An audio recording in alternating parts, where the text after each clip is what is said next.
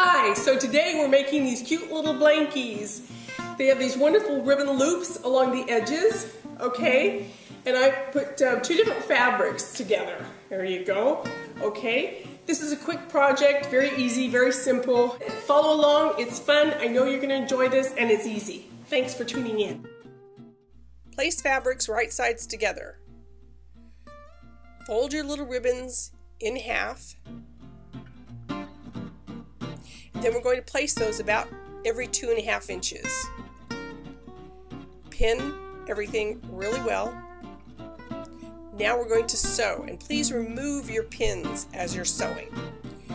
Okay, you're going to do all three seams, removing the pins as you go. On the fourth seam, you're going to leave a little gap, and that's where you're going to be turning your blankie right side out. So now, turn your blankie right side out through the little gap. Okay, get it all undone.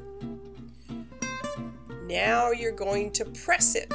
Okay, and you're going to press the blankie, and then you'll see that little gap. Take an extra ribbon, place it inside that little gap, pin it, and now you're going to top stitch.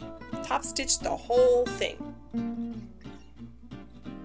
and this helps to close that that opening that's there also. And you can do it coordinating colors um, matching colors. It's up to you. Have some fun doing it. And these are so easy to make. Okay. And there you are. You're done. You did it.